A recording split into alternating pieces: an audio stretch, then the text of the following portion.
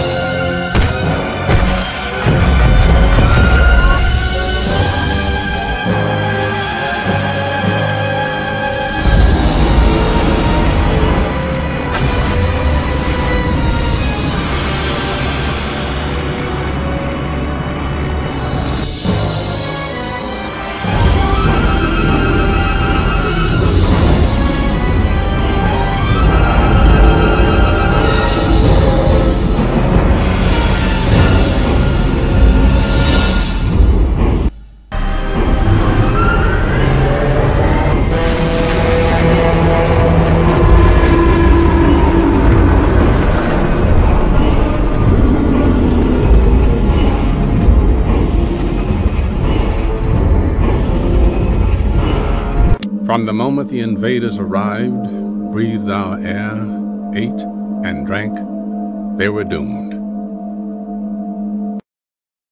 After all of man's weapons and devices had failed, by the tiniest creatures that God in his wisdom put upon this earth,